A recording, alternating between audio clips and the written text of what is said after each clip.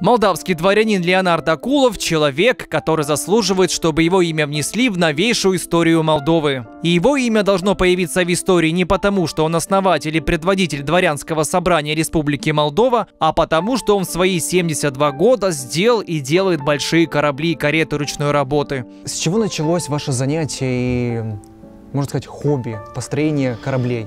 Ну, это где-то было в начале 90-х. Мне дали одну книгу, там, где были изображены модели парусников, старинных парусников. Вот, я как-то решил попробовать. И попробовал, что-то вышло. Потом увлекся этим делом, сделал больше, кажется, модель. Вот, и пошло и поехало так вот. И как-то я увлекся этим делом, и стало моей профессией второй. Я сам по образованию гуманитарий, но увлекаюсь астрономией и квантовой физикой. Сколько вы за 20 лет сделали кораблей и карет? Я не считал. Ну, примерно можете сказать? Ну, примерно, бог его знает, ну, около 40, может быть. Сколько занимает время один корабль? Вот сколько вы делаете по На времени? этот вопрос тоже ответить очень сложно. Дело в том, что я кажется, не занимаюсь с утра до вечера. Вот когда я работал журналистом, я знал, кажется, четко, что мне сегодня нужно взять, например, несколько интервью, а завтра я, например, отдыхаю, или я работаю дома где-то.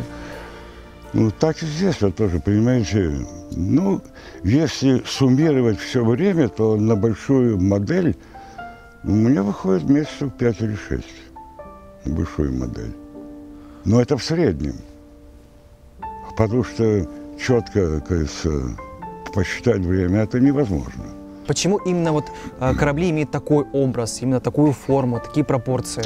Дело в том, что я все свои работы делаю, говорится, строго по чертежам. Вот. А еще я делаю, ну, это, это шпон, говорится, черное дерево, ясень, говорится, орех есть даже. В общем, я делаю комбинации и стараюсь, как говорится, сделать так, чтобы цветовая гамма совпадала с оригиналом. Это очень сложно, между прочим, подогнать. А что сложного в создании кораблей вот для вас? В данное время, конечно, уже ничего не сложно. Но раньше было сложно, например, сделать корпус. Конечно, может делаться из шпангоутов, а потом идет обтяжка, а потом идет палуба. Палубу тоже нужно, конечно, делать. Мачты, паруса. Все было сложно. А сейчас я могу, я могу сказать, что конечно, легко мне делать, потому что я уже набил себе руку. Где можно увидеть ваши корабли? Ну, в данное время есть одна коллекция, там где-то модели 9, например. Она, кажется, находится в частном, в частной коллекции. Вот. Но так они просто уходят у меня, я их э, продаю иногда, например, раньше. Так они расходятся у меня. Что было сложного при создании дворянского собрания и как граждане Молдовы относятся к дворянам? Дело в том, что к дворянам всегда было отношение двоякое.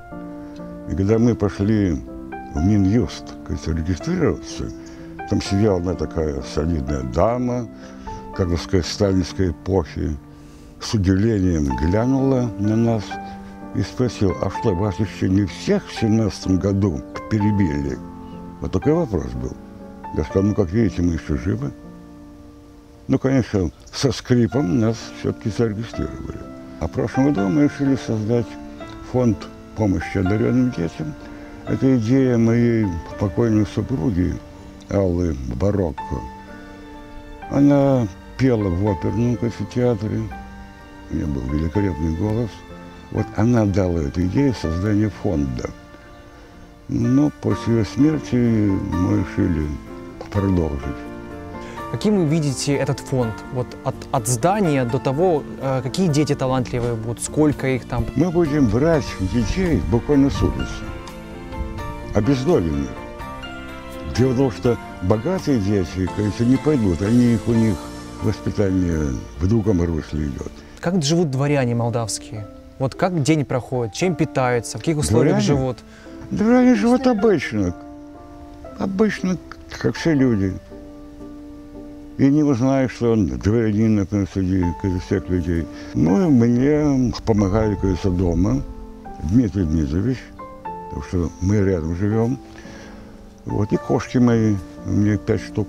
Дело в том, что вот эта вот система 70-летнего нашего коммунистического воспитания, она наложила свой отпечаток. Сколько раз в год собираются дворяне? У нас дат определенных нет. Дело в том, что люди сейчас все заняты. Мы просто, как бы сказать, выбираем время, когда большинство свободны в определенный день, и собираемся на станции Злоти. Там великолепное место, там стоят столики, там есть маленькое озеро. Вот, есть где отдохнуть.